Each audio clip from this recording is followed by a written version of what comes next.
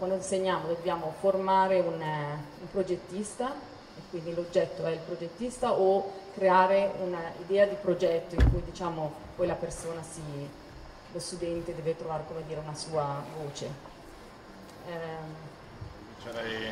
Andrea, vuoi iniziare? Beh, io faccio intanto una breve osservazione che eh, la questione dell'insegnamento è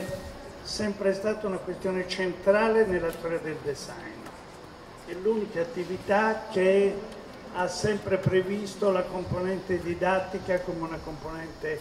di grande importanza, molto più che l'architettura o altre attività diciamo, creative. Questo in modo fa riflettere dell'importanza del dibattito che avete organizzato e che devo dire mi sembra anche caratterizzato, visto che siamo a Milano, dalla totale assenza dei professori del Politecnico e anche della NABA, scuso te. Cioè, in ogni modo, anzi, benemerito. Eh, io um,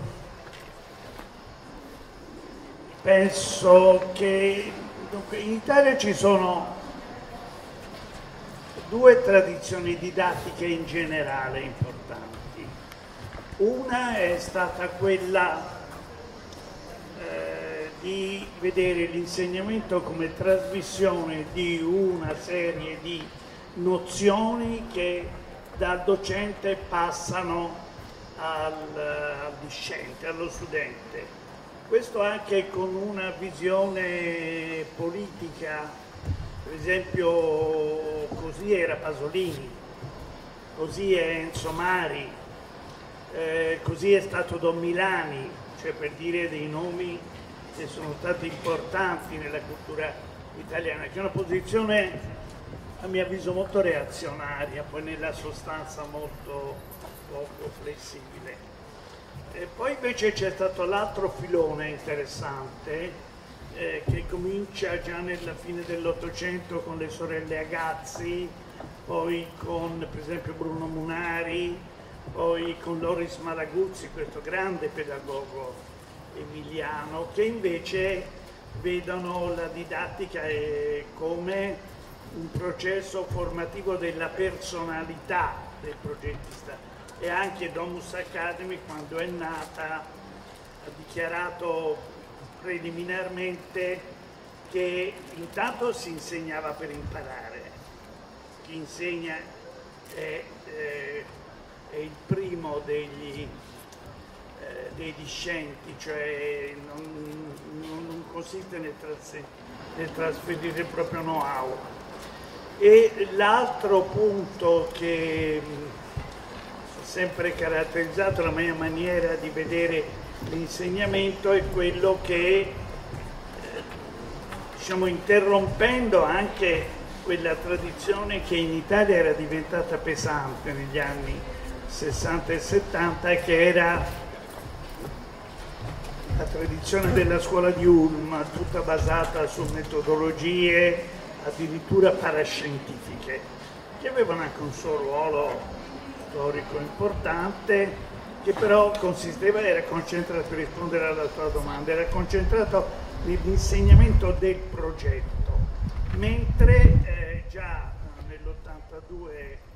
al momento della nascita di Domus Academy, veniva dichiarato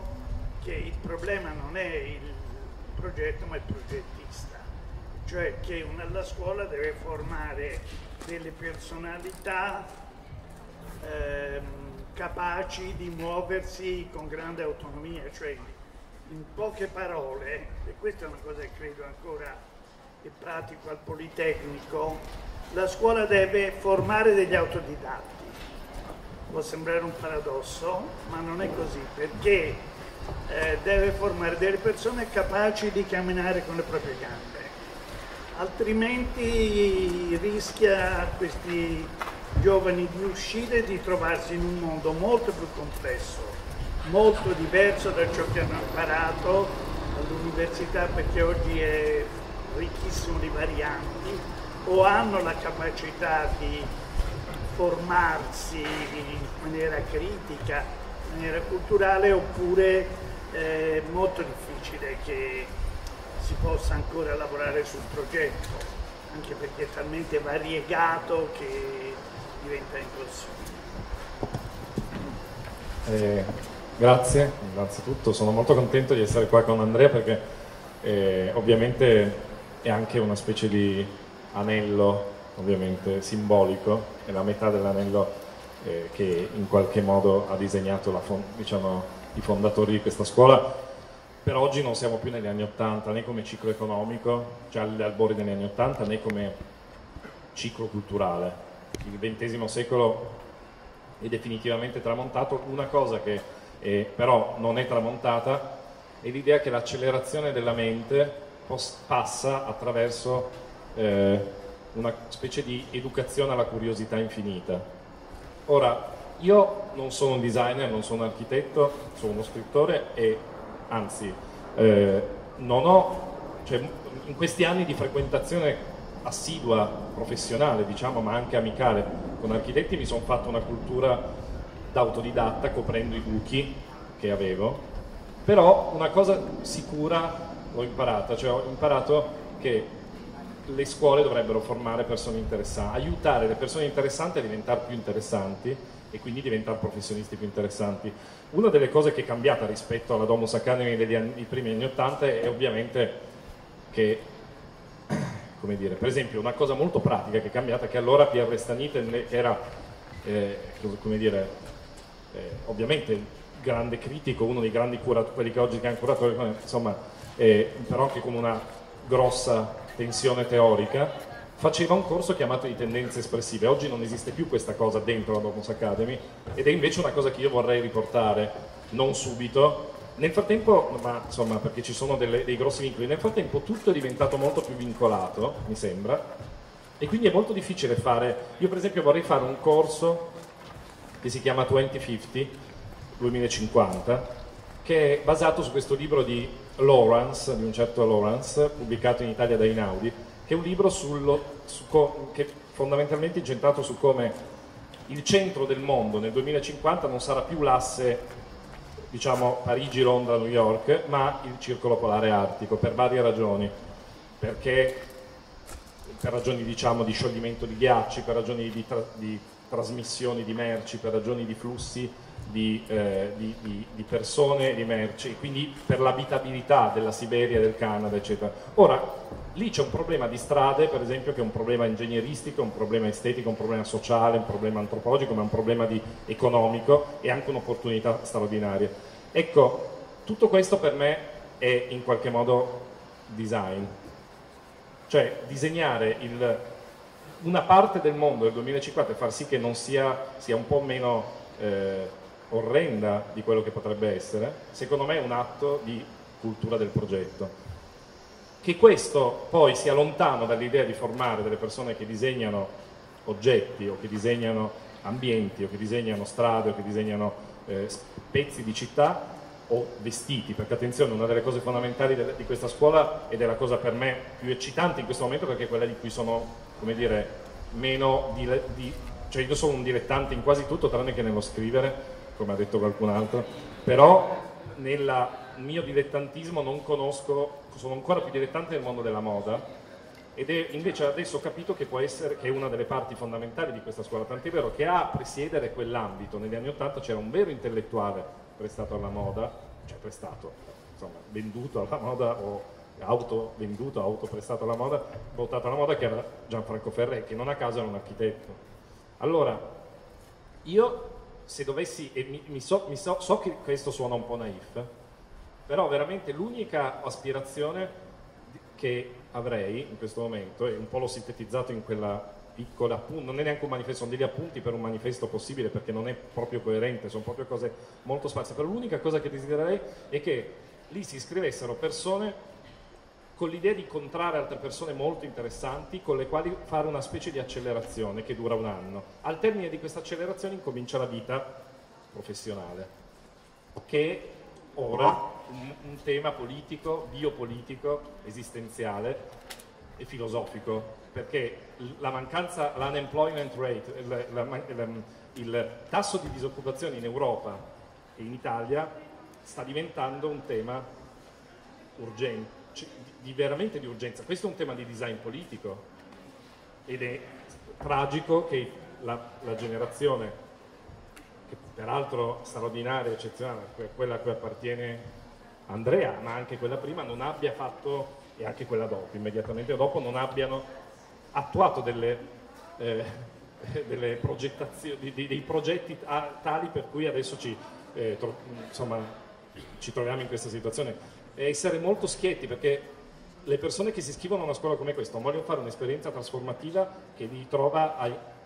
li porta in alcuni casi meno ambiziosi diciamo, a immaginare di trovare un lavoro, ma nei casi più ambiziosi di inventare nuovi lavori. E questo è il punto, le scuole devono essere dei posti in cui si inventano, oggi come mai, nuovi lavori, secondo me. No, sono assolutamente d'accordo, questa tra l'altro è una questione politica, di un malinteso politico estremamente diffuso, cioè quello di contare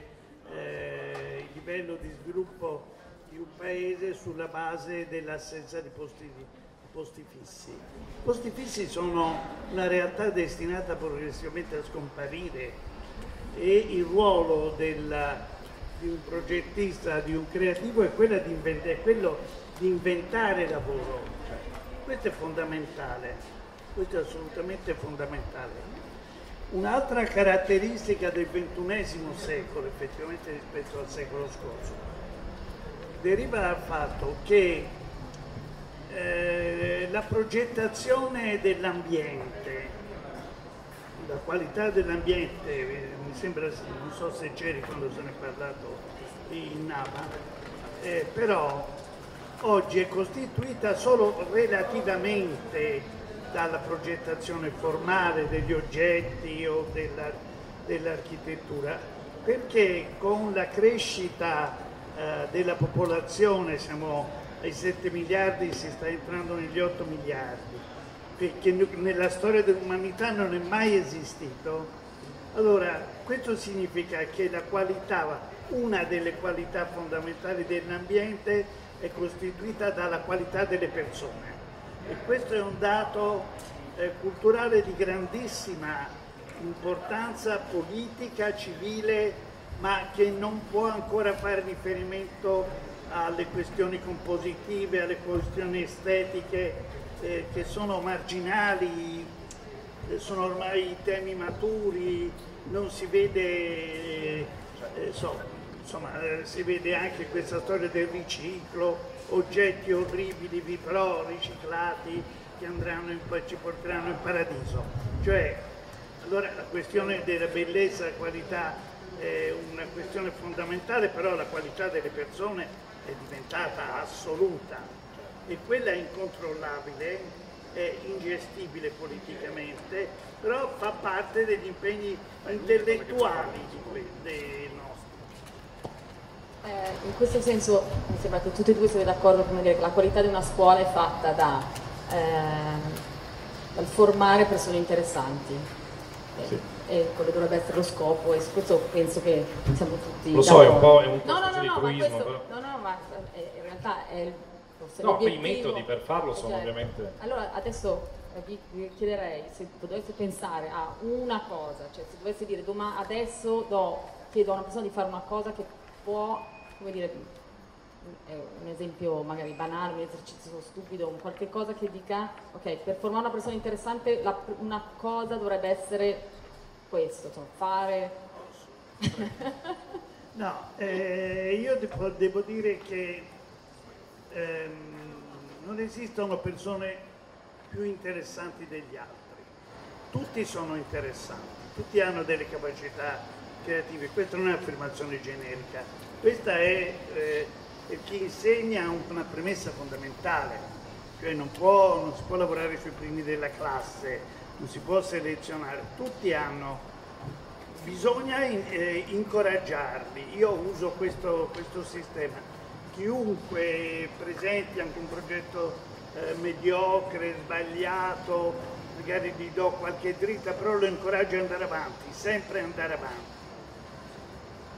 Tra l'altro c'è un altro fenomeno di quadro che non so se in Nava è così, ma al Politecnico è così, è particolarmente nel settore dove io insegno che è interior design, che è l'altissima percentuale femminile. Noi abbiamo il 90-95%. Questo sta cambiando completamente la cultura del progetto e quindi anche la didattica, cioè con meno ehm, aggressività, con un'intelligenza del tutto, con meno testosterone, ma con più sensibilità, più intelligenza.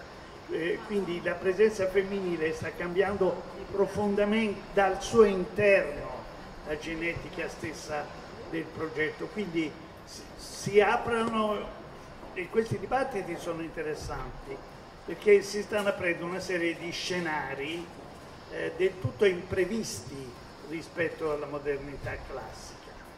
compresi i temi antropologici del sacro, della vita, della morte, del destino, di cui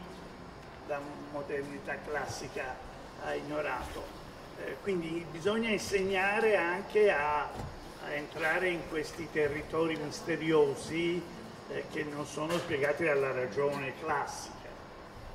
Beh, questo mi sembra assolutamente una suggestione molto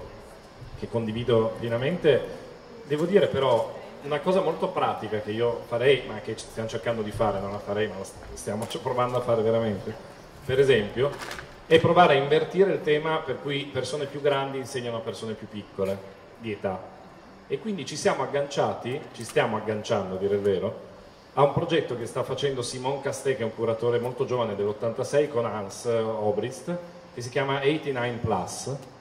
che è un sito che parte da, un, da, una,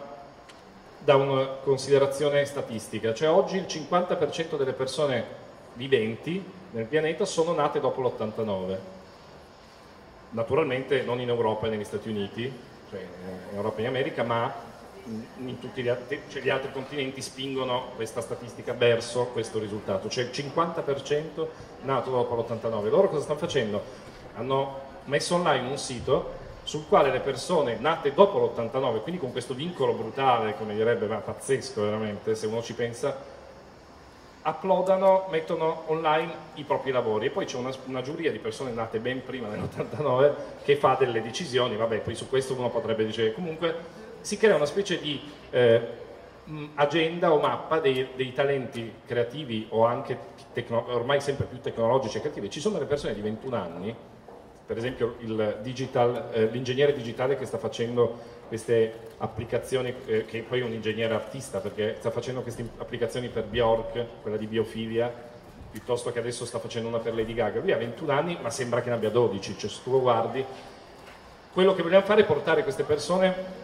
a insegnare anche alla scuola e partecipare in qualche modo a questa ricerca di talenti, che poi sono molti sono talenti diciamo asiatici, in parte africani ovviamente, sudamericani. E questa è una cosa molto, molto interessante anche se, ripeto, è, è veramente una, un atto di auto, eh, cioè una, una, forzatura molto forte e, è una cosa anche un po' deprimente per chi è nato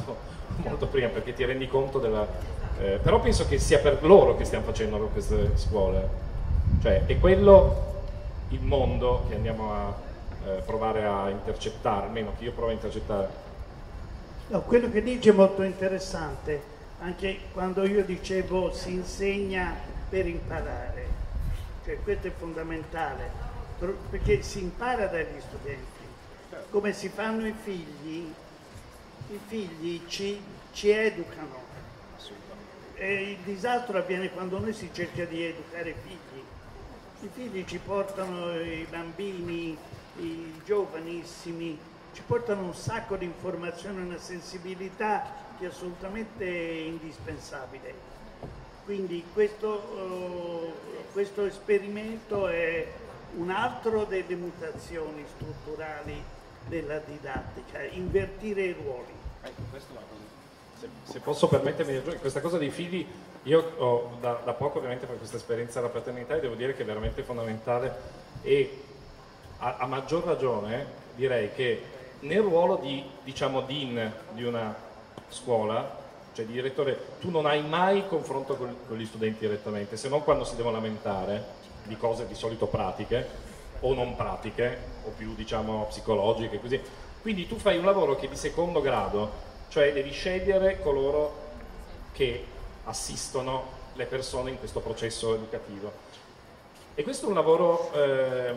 per certi versi molto eccitante, per certi versi un po' frustrante perché tu non, fai, non partecipi mai in realtà direttamente a quella trasmissione, scambio fluido psichico di conoscenza o esperienza o emozione. Italo, che è un pochino la persona che mi ha portato dentro la scuola, Italo Rotto, ha detto un giorno una cosa en passant, diciamo, eh, con questa sua voce monotona molto bella e fluttuante, flu, diciamo, ehm, ha, ha detto che fare una scuola è un atto d'amore. Questo la pensavano anche gli antichi, diciamo, filosofi greci che lo, la vedevano anche in modo, diciamo, più spinto di quanto. Excuse me, excuse me. May I interrupt? Yes. Okay. Because uh, it's quite difficult for many of us. I speak some Italian, so I can briefly understand, but the complete story is going far beyond my possibilities. but I hear some, sometimes I hear the word politics. And we all are aware that Italy at this very moment is in a very political, difficult situation. All of Europe, our eyes are focused on Italy. What's going to happen here? That's politics. But how does that influence the work you do at the Polytechnic? Is politics, the daily politics, does that directly influence your activities, yes or no? I, if you want, I can answer in English, so it's, uh, it might be a little bit easier. Uh, obviously, politics in Italy, uh, there is a great writer called Goffredo Parise who used to say, call Italy il paese della politica, the country of politics. He used to say in a, uh, in a it was obviously a pejorative way of describing Italy, but it was true. Basically, it was meant to depict a country in which politics, in the worst sense of the word, influenced everything. And it, and it, was a very blocked situation. Actually, what's happening now, it's a. I, obviously, I'm a little bit worried as far and, and, and not politics but economics and finance influences. Uh, for example, a private school that relies on uh, enrollments, and most of our students come from extra UE country. Obviously, I, I, I'm frightened of a possible bankruptcy or, or things like this, but I don't think that this will happen uh, because Italy is uh, very, I'm very confident that Italy is a very uh, strange, strange, strange, strange regenerator, self-regenerator. And please, I, I know that this is difficult to understand maybe from outside, but this parliament for example, and I didn't vote for Grillo, but this parliament, this parliament is by far probably one of the best parliament in the last decades, as far as uh, female, uh, uh, uh women uh, participation, as far as age, as far as sometimes also as far as education and knowledge is concerned. So uh, I'm not, I'm, I'm worried, but um, I think that there, it's, it's a very exciting time. And, and obviously politics influences schools, especially in uh, I, I, Polytechnic obviously is a public school, so it's a totally different story, but it... Uh, Vuoi dire qualcosa? No, su questo argomento non, ho, sono, mi sembra quello che ho capito di essere d'accordo e non lo, non lo vedo come un problema ehm, così strettamente legato all'insegnamento perché ehm, io ho sempre insegnato in qualche maniera, appunto mettendo scuole, insegnando in ogni modo, è una parte fondamentale, ma io non ho mai pensato di insegnare design. Cioè io ho sempre pensato di, di formare delle persone che hanno delle capacità creative, per esempio non è un perché, per esempio è da notare che per esempio la nuova musica inglese eh, negli anni 60 dai Rolling Stones e Beatles è uscita dalle scuole d'arte, cioè non, non- non- c'entra niente con i conservatori e scuole di musica, cioè si sono creati dei circuiti creativi che poi hanno avuto esito altrove. Le scuole non, non formano specialisti, formano, devono formare intellettuali, intellettuali o creativi. Assolutamente d'accordo.